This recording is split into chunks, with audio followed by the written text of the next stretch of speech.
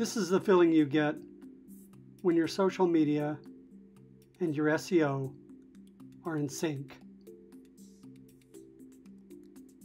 And both are driving traffic to your website.